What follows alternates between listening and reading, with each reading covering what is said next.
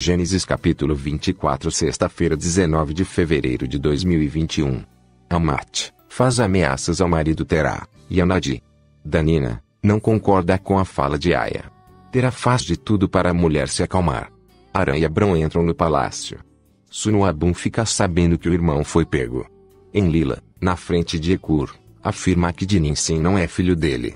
Nidão suspeita de Danina. Lamassi faz de tudo para chegar em Leafa. Nadia é firme para que Terá aceite se casar com ela. Abrão concorda com o proposto por Dininsim. Abrão é alvo de armadilha de Dininsim.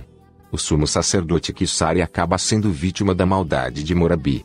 Amate recebe Terá e Nadi, e fica chocada com a pretensão do marido, se surpreende com a vontade de Terá. Gente, não se esqueça de se inscrever no canal Sérgio Bastos Oficial deixar seu like e apertar o sininho para saber tudo o que está acontecendo na novela Gênesis em primeira mão.